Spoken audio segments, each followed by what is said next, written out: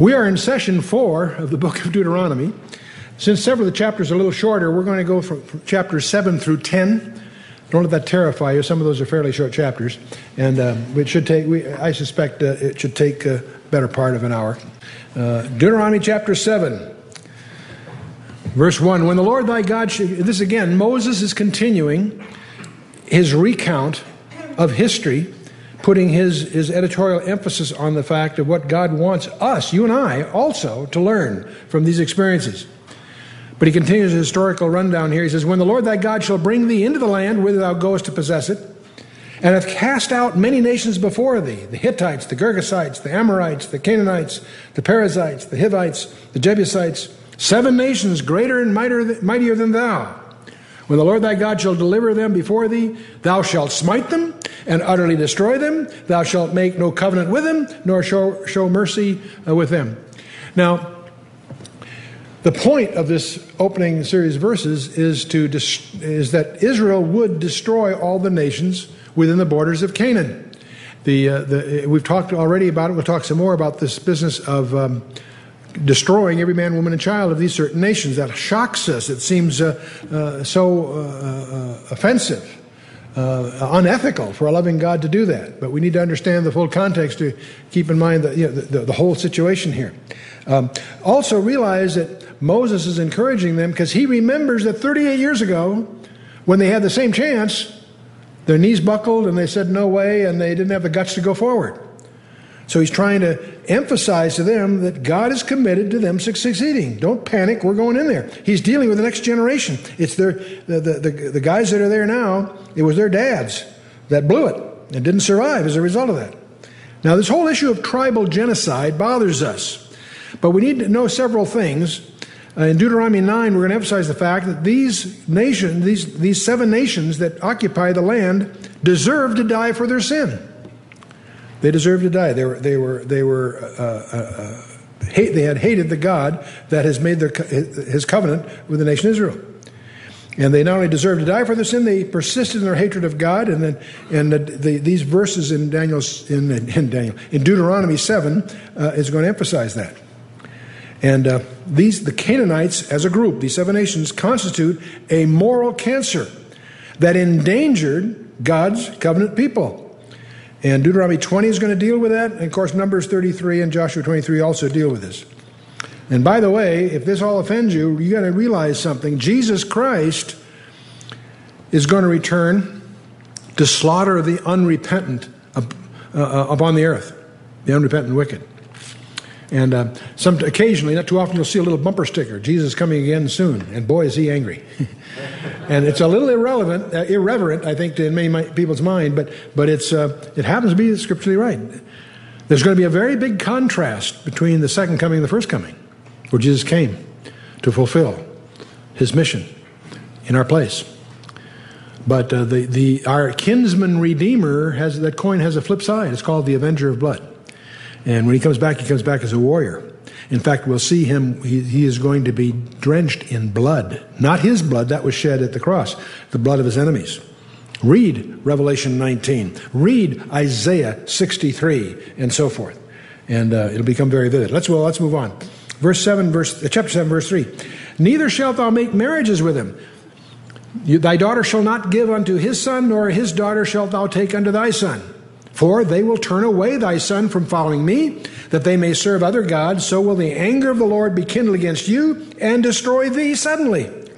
It is imperative for the survival of the nation, for them to keep themselves separate, to fulfill the mission that God has for them. Their survival, individually and collectively, depend on that. That's what Moses is saying here. But thus shall ye deal with them. Ye shall destroy their altars, break down their images, cut down their groves, that's the Asherah, these, these phallic symbols that were part of their fertility cults, and burn their graven images with fire. Do you notice the very tactful multicultural attitude here? Do you, under, do you realize that we have to just accommodate, the, and of course I'm being facetious here. No, this is different. This is, this is, this is black and white stuff. I'm reminded of a conversation in, uh, in, uh, in entertainment context when, in, uh, where the, uh, the young operative was talking to his CIA boss, uh, talking about the old days. And he said to the old guy, speaking of the World War II era and so he said, Do you miss the old days, sir? He says, I miss their clarity. I miss their clarity. And it always echoes in my ears. You know, it's interesting. There was a time, as recently as the Second World War, where things were sort of black and white, good and bad. It's amazing to see how blurred that is today. It was pretty clear here. You shall deal. How you, here's how you deal with them. You're going to destroy their altars, break down their images, cut down their groves, and burn their graven images with fire. For thou art a holy people unto the Lord thy God. The Lord thy God hath chosen thee to be a special people unto himself, above all people that are upon the face of the earth. Wow! No wonder the world hates the Jew. Because they are ordained by the God of the universe to be a special people. And the world, who doesn't accept that, regards that just as an excuse to, you know, to be officious and what have you. Above all the people that are upon the face of the earth, that's a heavy trip. In spite of that, they are going to blow it in spades, and we're building up to that. The Lord did not set his love upon you, nor choose you because you were more in number than any other people, for ye were the fewest of all people. See, it wasn't because they were powerful, they were large, or they were this or that. It was God's sovereignty that chose them. But because the Lord loved you, and because he would keep the oath which he had sworn unto your fathers, aha, there's another reason, hath the Lord brought you out with a mighty hand and redeemed you out of the house of bondmen from the hand of Pharaoh, king of Egypt. These people were beneficiaries of a redemption that God had promised. He swore to their fathers he would do this. You and I are beneficiaries of a similar kind of promise that he made to Jesus Christ. Every benefit we have is a function of God keeping his promises that he has given us in Christ. There's a parallel, but we won't, let's, let's keep moving. Know therefore that the Lord thy God, he is God, and the faithful God which keepeth the covenant and the mercy with them that love him and keep his commandments to a thousand generations and repayeth them that hate him to their face. To destroy them, he will not be slack to him that hateth him, he will repay him to his face. See, the Lord alone is God. He's able to control history and um, to raise up nations, to bring them down. God is in charge, He's in control. He's also a faithful God. The same God has, uh, and obviously this thousand generations thing is, an, is, a, is a, a rhetorical device, meaning, you know, in effect, endlessly or forever. It's a, it's a, figure, it's a figure of speech. But anyway, we move on. Thou shalt therefore keep the commandments, the statutes, and the judgments which I command thee this day to do them. Wherefore it shall come to pass, if ye hearken to these judgments and keep and do them, that the Lord thy God shall keep unto thee the covenant and the mercy which he sware unto thy fathers. That's the good news. and he will love thee and bless thee and multiply thee, and also bless the fruit of thy womb and the fruit of thy land thy corn, thy wine, thine oil, the increase of thy kind, the flocks of thy sheep, and the land which he sware unto thy fathers to give thee. Thou shalt be blessed above all people. There shall not be male or female barren among you, nor among your cattle. The Lord will take away from thee all sickness, and will put none of the evil diseases of Egypt, which thou knowest, upon thee, but will lay them upon all them that hate thee. There's a very interesting book that was published many years ago called None of These Diseases, a phrase, of course, out of Exodus by uh, Dr. Milliken, who went through medical history. And it's a shock to realize a couple of things. One is it's amazing uh, uh, when you, uh, first of all, from the uh, Papyrus Ebers, if you look at the ancient re- recordings that we have of the medical practices of ancient Egypt, they're really weird. They're really, they're really grotesque. What's amazing about them isn't the ignorance that they portray. What's interesting is that Moses was taught in that culture, and none of that shows up in the Torah. All these weird concepts they had medicine, they're not in the Torah. In contrast to that, there are hygiene issues, there are, uh, there are all kinds of things that the Jews do not get. There's a cervical cancer issue that derives favorably from the fact that they're circumcised. There's all there's medical study after medical study after medical study. One of the most interesting ones is the circumcision on the eighth day. if you do medical graphs of uh, what is it, vitamin K and prothrombin, anyway, it turns out that if you're going to circumcise a child, if you do it before the eighth day or after the eighth day, you can encourage great bleeding. But by doing it on the eighth day, it's optimum to, to, to make it safest. Now, what's interesting about that, how did Moses know? Trial and error? I don't think so. It's interesting that the medical insights that pervade the Torah are astonishing. If you and, and the, there are books written, and, and Milliken's book was just one example. I was very, intrigued with that. But none of these diseases, all these diseases of Egypt that they were familiar with, they were kept from by God, and in part by the hygiene and by the rules which He institutes in the Torah. But uh, anyway, move on. And thou shalt consume all the people which the Lord thy God shall deliver thee. Thine eye shall have no pity upon them. Neither shalt thou serve their gods, for they will be a snare unto thee. If thou shalt say in thine heart, These nations are more than I, how can I dispossess them? Thou shalt not be afraid of them, but shalt well remember what the Lord thy God did unto Pharaoh and all Egypt. Boy, you know, I often, it sounds a little reverent, but I almost feel when I read uh, Exodus, it's almost as if God's showing off you know, one thing after the other. You go Exodus, the, climaxing, of course, in the death of the firstborn. But you go through that. It, it, it uh, God seemed to be going out of his way to demonstrate that he was God. And uh, there's no way you can rationalize by circumstance. All kinds of scholars have tried to rationalize the events of Egypt um, uh, uh in, in naturalistic terms by comets or all kinds of conjectures. No, God was so vivid. So, you know, he wiped out the firstborn of the animals, not just the, the, the, the people of Egypt and so on. It, it, it, it's an incredible So That's why Friday the 13th is so unlucky. Did you know that? You realize that? When did the Passover take place? 14th of Nisan. Okay. Now, the, the, it, was, it was a Shabbat. It was, uh, uh, but when does Shabbat start? Not a, you know, at, the next day starts at sundown. So what's the 14th of Nisan to the Hebrews is the thir- Friday the 13th to the Egypt. So Friday the 13th is the Gentile side of the Passover. And interesting, we're indebted to Velikovsky of all people for that insight. But anyway, move on.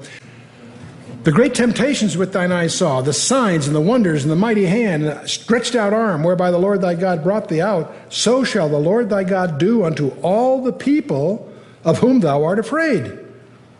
So you're worried about these Rephaim, you're worried about the Nephilim, these giants, whatever. Don't sweat it. God can deal with it. And these are all things that were true, by the way, 38 years ago, but they just wouldn't listen. They were terrified.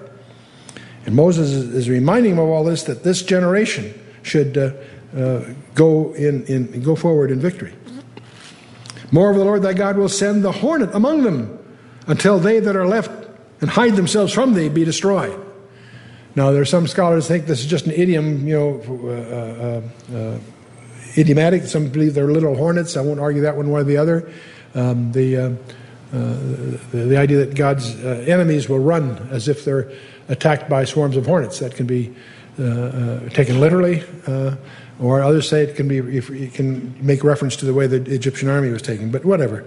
And thou shalt be affrighted at them for the Lord thy God is among you, and the mighty hand, uh, uh, mighty God and terrible. And the Lord thy God will put out those nations before thee by little and little.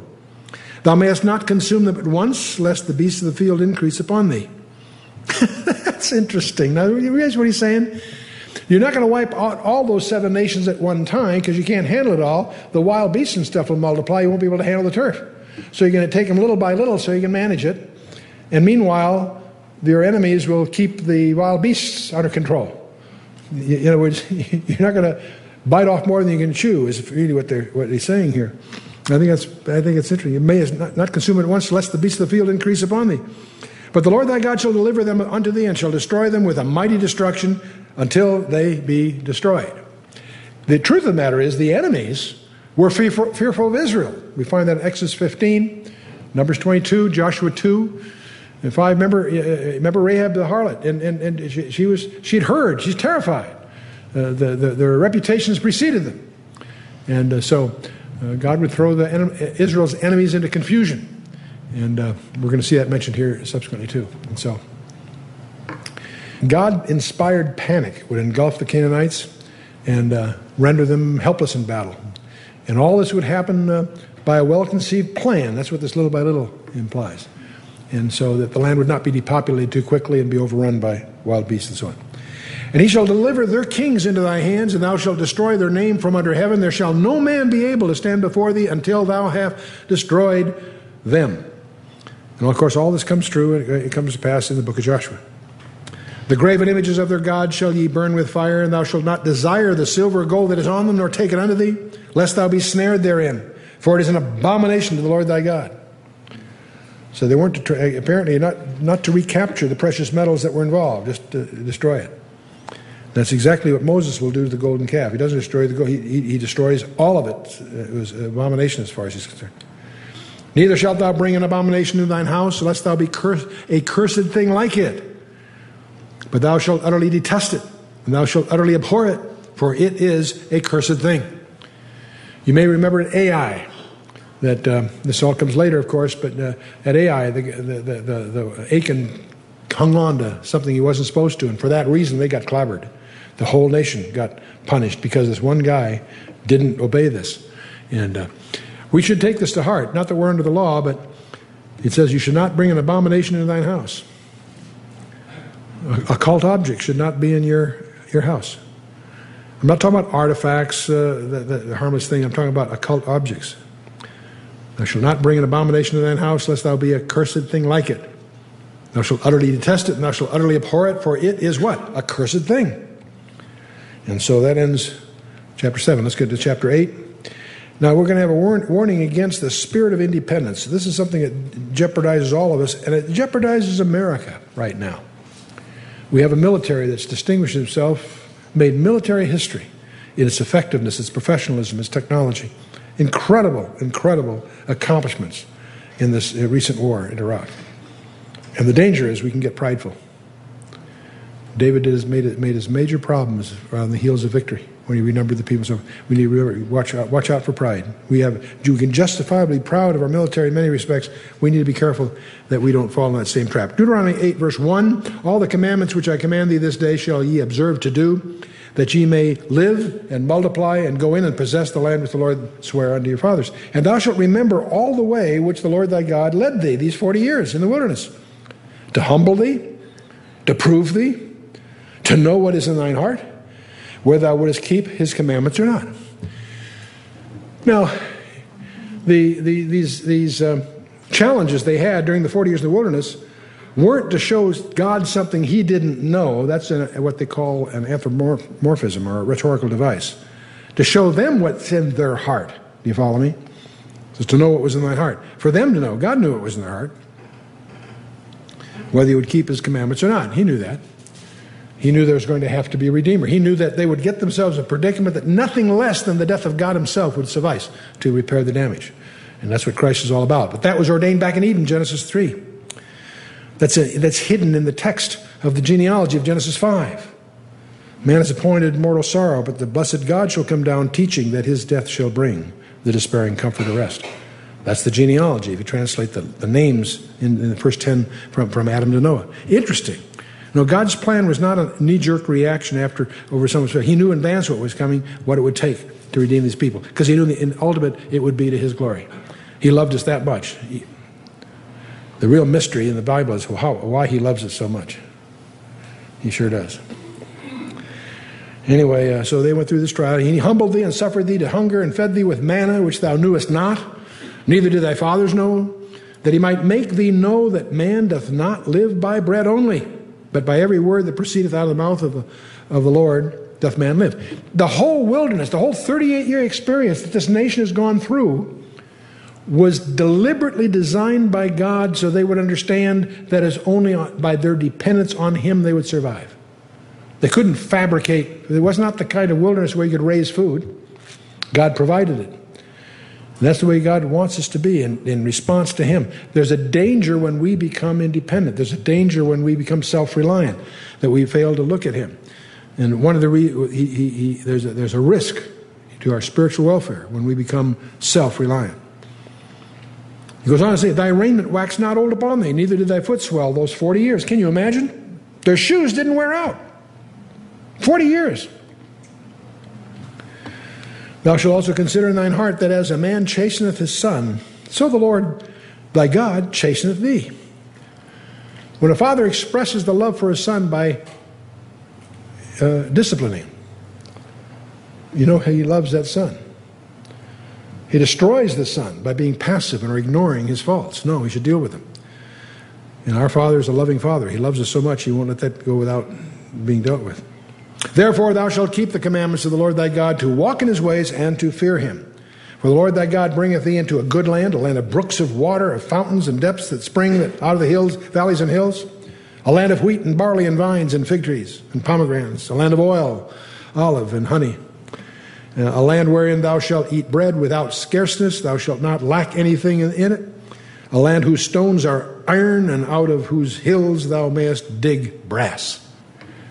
All these things, by the way, have been discovered there, and, and it's all, it turns out to be very, very descriptive. But Moses didn't know that at the time. This is inspired. We, since, we take this all for granted because we know Israel today.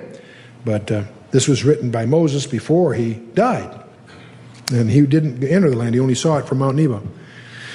Verse 10 When thou hast eaten and art full, and when thou shalt bless the Lord thy God for the good land which he hath given thee, beware that thou forget not the Lord thy God in not keeping his commandments and his judgments and his statutes, which I command thee to say. You know, this what Moses is saying here, hey guys, watch it. When you're prosperous, you're gonna you've had a tough time, that's been for good reason. But now that you're going to go in and prosper and you're going to conquer these nations, you're going to have all this food and all this, this fabulous land, don't forget God. You know how interesting it is that our country is founded by people who are seeking the freedom of worship. People that came here and founded a nation on, on godly principles. The Constitution, Declaration of Independence, all these things are God breathed documents. They're based on, they were, they were, they were uh, penned and formulated by brilliant geniuses that were God fearing. And uh, in those early years, they understood the heritage that they were laying down for their posterity. And it's really a shock to realize now that we are prosperous, we're forgetting it. We're turning it back. Same thing happened to Israel here. Same thing happened to the northern kingdom. When, the, when uh, Jeroboam rebelled against Rehoboam, they separated the northern the house of Israel. They prospered. Jeroboam's standing army conquered all the way to Damascus. They were very prosperous. God sent Hosea to them. You guys think it's the best of times. In God's eyes, it's the worst of times. You've abandoned two centuries of heritage. And uh, you've exchanged your heritage for worshiping idols. That's brought you social injustice and violence and so forth and so on. The whole indictment list. If you study Hosea from chapter 4 through 14, it's a description of the United States. Also, we too have had two centuries of heritage. We've abandoned it. We've forgotten the God that made it possible. And uh, it's very possible he's going to give, it has the same indictment against us that Hosea had against the north kingdom. Same kind. The danger, beware that thou forget not the Lord thy God in keeping his commandments, his judgments, his statutes, which I command thee today. You know, it's amazing how empires have been studied. Empires have a life cycle. They go from bondage to faith, and from faith to freedom, and from freedom to abundance, and then from abundance to complacency, from complacency to apathy, apathy to dependency, and dependency back to bondage. It takes about two centuries. And that's been the history of mankind. And the United States looks like it's, where are we on that cycle? We're beyond, you know, bondage and faith and abundance. Are we moving to complacency and apathy? Are we going to move towards dependency? Will that plunge us back into bondage? That would be the pattern, wouldn't it? Lest thou, when thou hast eaten and art full, and hast built goodly houses and dwelt therein, and when thy herds and flocks multiply, and thy silver and gold is multiplied, and all that thou hast is multiplied, then thine heart be lifted up. oh And thou shalt forget the Lord thy God, which brought thee forth out of the land of Egypt and from the house of bondage, who led thee through the great and terrible wilderness, wherein were fiery serpents and scorpions and drought, where there was no water, and brought thee forth water out of the rock of flint, who fed thee in the wilderness with manna, which thy fathers knew not, and that he might humble thee, that he might prove thee to do thee good at the latter end. And thou say in thine heart, My power and might of mine hand hath gotten me this health. Be careful. That's what brought Nebuchadnezzar down. He's on the top of the wall of, his, of, of Babylon. It was considered impregnable by all the experts of that era. Look what I did. And God struck him down, just as he predicted. Of course, Daniel took care of him for seven years as he went through this his uh, institutionalization until he recovered from all of that. Watch out when you're saying in your heart, My power and, my, and the might of my hand hath gotten me this wealth. But thou shalt remember the Lord thy God, for it is he that giveth thee the power to get wealth, that he may establish his covenant, which he may swear unto thy fathers, as it is this day. And it shall be that if thou do at all forget the Lord thy God, and walk after other gods, and serve them, and worship them, I testify against you this day that ye shall surely perish. Boy, that's pretty clear. There isn't any technical ambiguities about the language.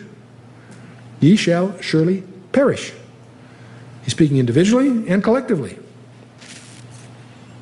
As the nations which the Lord hath destroyed before your face, so shall ye perish, because ye would not be obedient unto the voice of the Lord your God.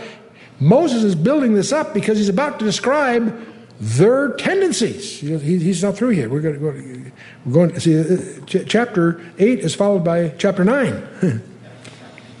Now we're going to talk about a, a warning against spirit of self-righteousness. This is a different thing, but sim- a close cousin. Chapter 9, verse 1. Hear, O Israel, thou art to pass over Jordan this day, to go in to possess nations greater and mightier than thyself, cities great and fenced up to heaven, a people great and tall, and people of the Anakims. Remember we talked about the Anakims? Most people don't understand that these were not just tribal things, these were Rephaim, these were vestiges of the Nephilim, and so on whom thou knowest and of whom thou hast heard say, Who can stand before the children of Anak? That was the way they assessed these people. They were, it was, they, they uh, uh, were, were terrified. Understand, therefore, this day that the Lord thy God is he which goeth over before thee as a consuming fire, he shall destroy them. And he shall bring them down before thy face, so thou shalt drive them out and destroy them quickly, as the Lord hath said unto thee. He's anticipating the same reactions by the young men they're going to have to face these guys as the young men did 38 years earlier. They're terrified of what they're up against. He's saying, No, no, understand, God has committed to go before you. He's going to take care of this for you. Trust Him. You know, it's interesting. The whole issue here is trusting God. God finds a new way to ask us each day, you and I, do you trust me? God finds a new way almost every day to ask you that question. And uh, that's what he's after. Do you trust him? Speak not thou in thine heart, after the Lord thy God hath cast them out from before thee, saying, For my righteousness the Lord hath brought me to, in to possess this land. But for the wickedness of these nations the Lord doth drive them out from before thee. See, God's going to go before them, but not because they merit it. He's going to do this thing, but not because they deserve it, because God promised he'd do it. Not for thy righteousness, or for the uprightness of your heart dost thou go to possess their land. But for the wickedness of those nations, the Lord thy God doth drive them out from before thee, that he may perform the word which the Lord sware unto thy fathers, Abraham, Isaac, and Jacob. God told Abraham for, for 400 years your people are going to be in Egypt, but then they're going to come back. For 400 years they're going to come back. And God promised to rid this land of its. See, the, the flip side of this is Satan had four centuries to lay down a minefield. When God told Abraham, Your people are going to come back here for 400 years from now, Satan could say, Boy, I've got 400 years to lay down a minefield to thwart the plan of God. And that's the, that, that's the undergirding strategic thing that's going on with these seven nations, the four special tribes, the Emim, the Ramim, the, the Rephaim, the walking dead that were there. And for the wickedness of those nations, the Lord thy God doth drive them out before thee, that he may perform the word which the Lord sware unto thy fathers Abraham, Isaac, and Jacob. Again, God, they're, they're getting the victory not because they deserve it, not because they're righteous, because God promised their fathers he would do this. It's God's faithfulness that's the issue, not ours. Understand, therefore, that the Lord thy God giveth thee not this good land to possess it for thy righteousness, for thou art a stiff necked people. Now, that's not written in some anti Semitic tract, that's in the Word of God. That's Moses' assessment. Thou art a stiff necked people. Their hearts are hard to change. Their attitudes are rigid. They're, they're, they're very self willed. That's what's involved here. Now, you think they are, we are too. So, when you, the, guy, the, the, the most stiff necked person you're probably going to see in your life is the one you shave every morning. Guys, okay? Remember and forget not how thou provokest the Lord thy God to wrath in the wilderness from the day that thou didst depart out of the land of Egypt until ye came to this place, ye have been rebellious against the Lord. See, now, after this buildup, he's going to nail him. He's going to tell him, let's remember what the history was like. Also in Horeb, that's at Mount Sinai, ye provoked the Lord to wrath, so that the Lord was angry with you to have destroyed you. God was going to wipe them out. Moses says, When I was gone up to the mount to receive the tables of stone, even the tables of the covenant which the Lord made with you, then I abode in the mount 40 days and 40 nights. By the way, it's a long time. Think about it. Camping up the mountain, unprepared probably, for 40 days and 40 nights. I did neither did eat bread nor drink water. It's a long time. By the way, he does this twice. He's going to do this twice. I was gone up to the mount to receive the table of stone. I abode on the mount 40 days and 40 nights, neither did I eat bread or drink water. And the Lord delivered unto me the two tables of stone, written with the finger of God. Wow. And on them was written according to all the words which the Lord spake with you in the mount of the, of the midst of the fire in the, in, in the day of the assembly. And it came to pass at the end of the 40 days and 40 nights that the Lord gave me the two tables of stone, even the tables of the covenant. And by the way, most people assume, it's a trivial thing, but that the two tables had half the laws in one, and half in the other. No, both of them probably had the complete laws. The style in the ancient time, if you had a, a serious covenant, was to have two copies. It came to pass at the end of 40 days, 40 nights, the Lord gave me the two tables of stone, even the tables of the covenant. And the Lord said unto me, Arise, get thee down quickly from thence, for thy people which thou brought out of Egypt have corrupted themselves, and they are quickly turned aside out of the way which I commanded them. They have made them an molten image. You know, while Moses is up there 40 days and 40 nights with God, what's going down in the camp? Revelry, partying. And they con uh, uh Aaron to build this golden calf. You know the story. he says, gee, it just came out of the fire like this. Eh? Furthermore, the Lord spake unto me, saying, I have seen this people, and behold, it is a stiff necked people. There it is again. God's opinion seems to be the same as Moses. Let me alone, that I may destroy them. This is God speaking. Let me alone, that I may destroy them, and blot out their name from under heaven. This is God speaking about Israel. And I will make of thee a nation mightier and greater than they. So God is actually, he's actually putting Moses to the test, but he's saying, I am fed up with these guys. They've gone down there and corrupted themselves and making this golden calf. I'm going to wipe them all out and start over. I'm going to make a, am going to make a, a, of thee, Moses, a nation even mightier than they. That's an interesting deal. Gee, God, that, that'd be pretty neat. Moses says, So I turned and came down from the mount, and the mount burned with fire, and the two tables of covenant were in my two hands. And I looked, and behold, he sinned against the Lord your God, and he made you a molten calf. He had turned aside quickly out of the way which the Lord had commanded you. And I took the two tables and cast them out of my two hands and break them before your eyes. Why? Because they had broken the covenant. The covenant was broken, not by Moses breaking the thing, by them by turning against God. He just got through this whole thing. He's up there 40 days, 40 nights getting the details, and he, they're down there, and his back is is hardly turned when they're in it. Doing what? Doing exactly what God said not to do. So, as far as, and by the way, God did regard that covenant as broken. He's going to, read, he's going to give him a new, he's going to make a new one uh, shortly, but the point is that those two tables of stones symbolize the breaking of that covenant. It was kaput. I took the two tables, cast them out of my two hands, and break them before your eyes. He's talking to, he's talking to the people he's talking to. And I fell down before the Lord as at the first 40 days and 40 nights. So he does another 40 days and 40 nights here, guys. I did either I neither did eat bread nor drink water because of all your sins which he sinned in doing wickedly in the sight of the Lord to provoke him to anger. And I was afraid of the anger and the hot displeasure wherewith the Lord was wroth against you to destroy you. But the Lord hearkened unto me at that time also. See, Moses prayed for the people. His, his, his, his, he prayed for the people. The Lord was very angry with Aaron to have destroyed him, even his you know, brother Aaron. I prayed for Aaron also at the same time, he says. That's the only place, by the way, that's mentioned. And I took your sin, the calf which ye had made, and burnt it with fire, and stamped it, and ground it very small, even until it was as small as dust. And I cast the dust thereof into the brook that descended out of the mount. So that was the golden calf. You all know the point is that the golden calf thing is right, and that's not the end of it. He then goes on. There's been a lot of other cases as they wandered in the wilderness at Taberah, at Massah, and at Kibroth Hattaavah. the, he provoked the Lord to wrath.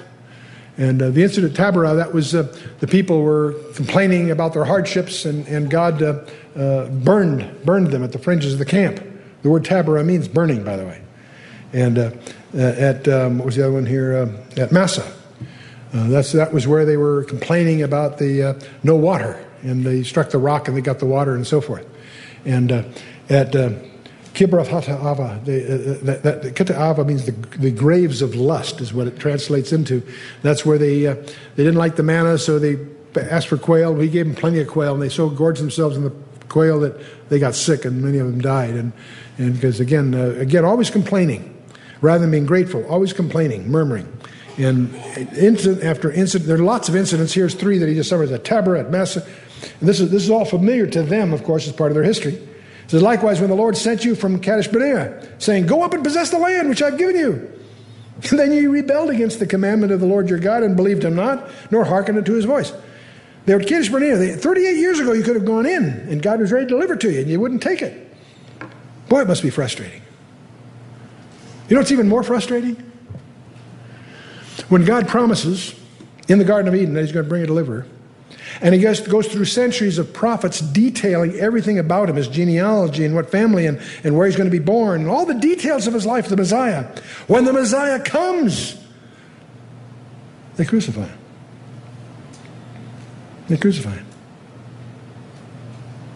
You know, it's a very interesting summary of, uh, of Hebrew history Eh, by Stephen in the book of Acts, Acts 7. Stephen, the young man, has the audacity to give the Sanhedrin a Hebrew lesson. But he goes through and recounts a similar history. But he makes an interesting point because they don't let him finish, so many people don't understand where he was headed. But if you take Acts 7 and outline his logic, he always points out that Israel always blows it the first time, they get it the second. Blows it the first time, they get it the second. They blow it the first time, they get it the second. And he gets to the resurrection, and they don't let him finish to get him so upset, they, they go stone him. What are they saying? They blew it the first time, his first coming. But they'll get it on the second coming. It's the pattern of Israel. Interesting, isn't it? Ye have been rebellious against the Lord from the day that I knew you. Thus I fell down before the Lord 40 days and 40 nights as I fell down to the first. Because the Lord has said he would destroy you. God was going to destroy Israel. And it's Moses that's interceding. We have Moses in the role of an intercessor. You have an intercessor too. You know who that is? Who's your intercessor? Not Moses. Who's your intercessor? Jesus. Can you imagine the Son of God spending his, his primary duty right now before the Father is to intercede on your behalf? Is he going to be more effective than Moses? I think so. Was Moses adequate? He sure was, because God didn't wipe out that nation, because Moses interceded. And he did it on the basis of God's glory, not because he deserved it. His arguments are very interesting. God don't, if you, if, you wipe out this nation and start over, all the nations will say, ha, so you couldn't do what, they, what he promised to do. Interesting logic. I prayed therefore unto the Lord and said, O Lord God, destroy not thy people and thine inheritance, which thou hast redeemed through thy greatness, which thou hast brought forth out of Egypt with mighty hand. Remember thy servants, Abraham, Isaac, and Jacob. Look not to the stubbornness of this people, nor to their wickedness, nor to their sin. Now remember your promises to Abraham, Isaac, and Jacob, he's saying. But he, knows, he points out that it was God's greatness that redeemed, not the people deserved it.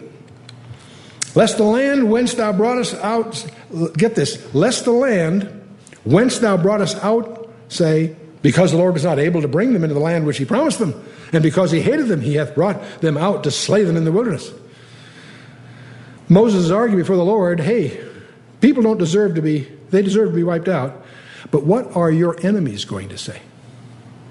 They're going to say you couldn't cut it. You couldn't deliver the land like you promised. Yet, Moses continued, yet they are thy people and thine inheritance, which thou broughtest out by thy mighty, by thy mighty power, power and by thy uh, thy stretched out arm. Interesting logic, Moses. Well, let's take one more and we'll wrap it up here. Chapter 10.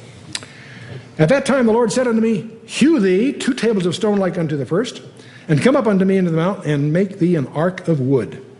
And they will do that later. That'll become the ark of the covenant later. And I will write upon the tables the words that, thou, that were in the first tables, which thou breakest, and thou shalt put them in the ark.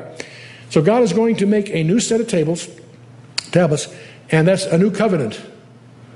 Be the same words, but it's a, it's, a, it's a restart, if you will. God decides not to destroy him in effect, you know, to, to give him another chance.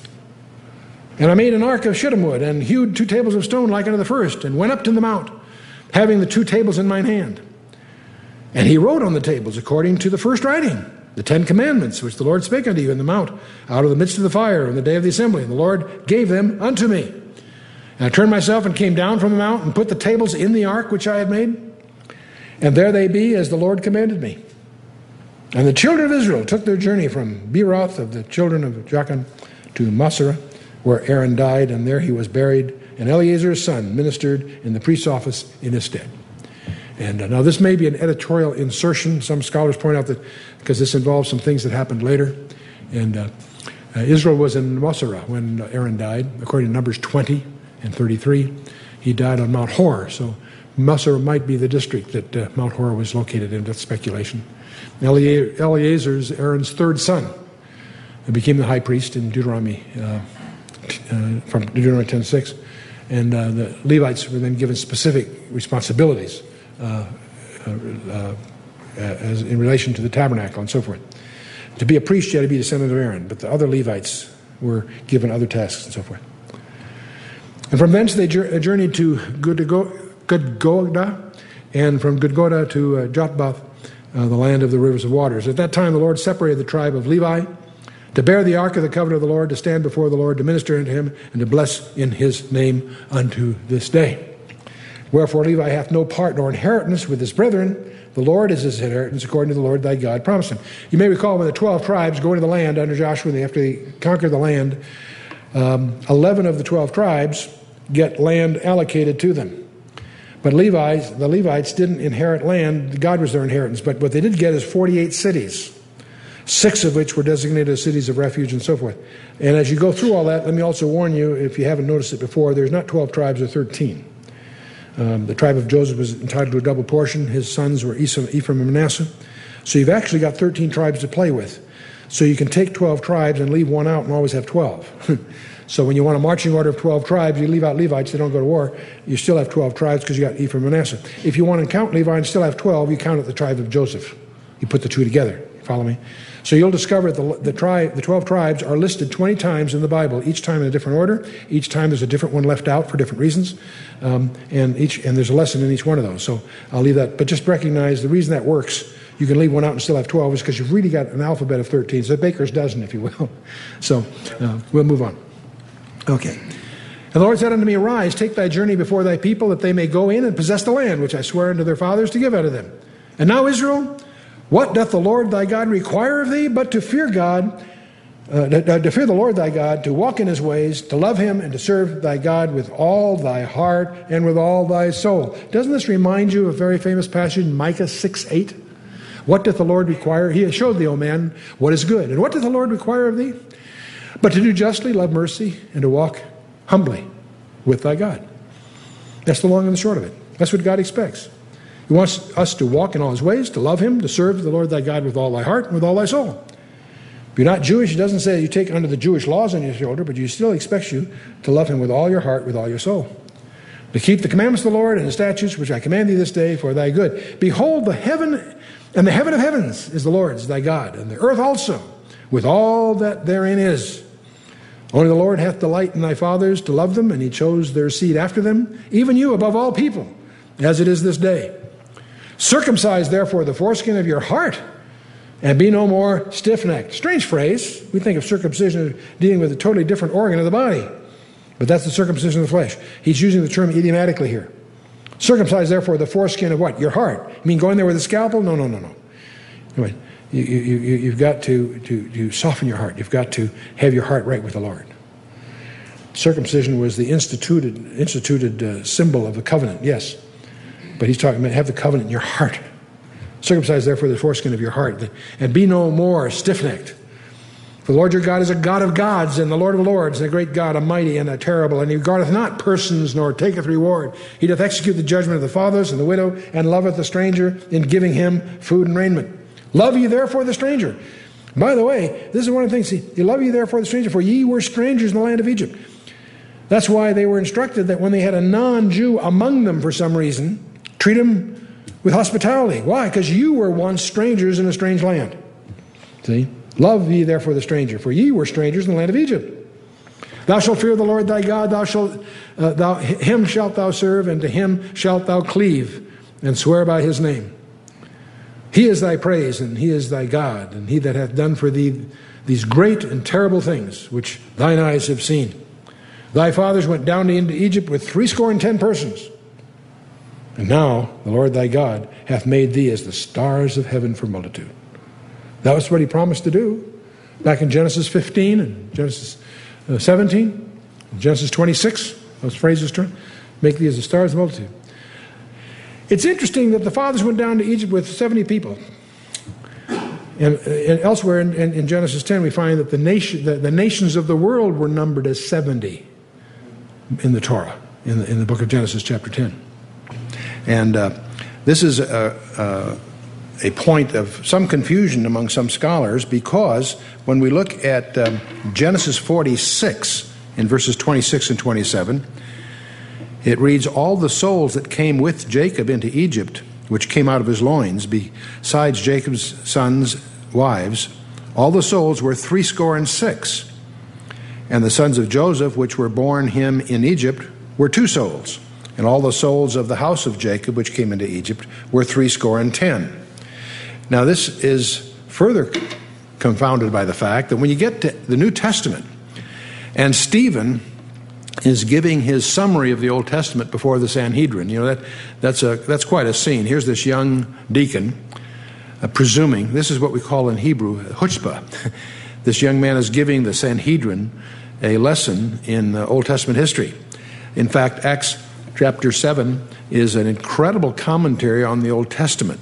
It's worthy of a very careful study because there's a half a dozen things in that chapter you won't find in the Old Testament.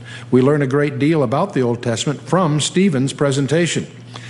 But just to focus on one thing, in verse 14 of Acts 7, uh, Stephen says to them, Then sent Joseph and called his father Jacob to him and all his kindred, threescore and fifteen souls.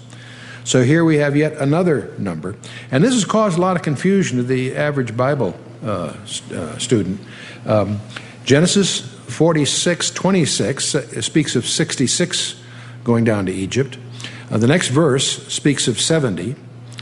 And uh, the, of course, the difference between them is uh, between the 66 and 70 is Jacob, Joseph, and Joseph's two children, Manasseh and Ephraim, which were adopted by Joseph. But then when you get to Acts 7:14, there's five additional, and that just emerges from the fact that Stephen was using the Septuagint translation, which includes Joseph's grandsons. And so there were five additional to give you the 75. So it's a, uh, it's a, uh, uh, that, that explains the, the 70 that go down into Egypt. But one of the things we discover when we get to Genesis chapter 10, we have a chapter that's known as the Table of Nations. And we have Noah and his three sons, Ham, Shem, and Japheth, and their descendants enumerated there in Genesis chapter 10. Under Noah, of course, we have Ham, uh, Shem, and Japheth. Ham had Mizraim, Cush, Put, and Canaan. Shem had Elam, Ashur, Arphaxad, Lud, and Aram. And Japheth had Gomer, Magog, Yavin, and Tiras. And uh, what goes on in that, in that uh, uh, passage is we have detailed under each of them the uh, tribal names and, uh, of, of, and their descendants. It's interesting, of course, that Mitzrayim is the name for Egypt. You and I think of it as Egypt, but often in the scripture we'll have the ancient tribal name of Mitzrayim referring to both Upper and Lower Egypt. And the Philistines came originally from from Egypt. Notice, by the way, that these are not sons of Ishmael, they're Hamites. And uh, there's a lot of confusion as to what constitutes an Arab. Are you speaking eth- ethnically? Then uh, certainly not the Hamites. Are you speaking geographically? Then you're speaking of Saudi Arabia. But in any case, also from Ham came Cush, translated Ethiopia in your Bible, but it includes the Kassites, and it, they settled east of Assyria. Uh, the, uh, uh, some of them, and they settled south of the second cataract of the Nile, the Cushites. Among them, of course, was Nimrod. He's the one that created Babel, the Tower of Babel. And from him came Erech, Akkad, and uh, Calneh. And uh, that'll be detailed further in the 11th chapter of Genesis. But also under Ham came Put. Now he settled west of Egypt, and that's why it's translated Ethiopia in our Bibles, but it really refers to the North Africans, which are mostly Berbers and so on. And also a descendant of Ham was Canaan. Uh, from Sidon to Gaza and from uh, all the way to Sodom and Gomorrah, we have the Canaanites.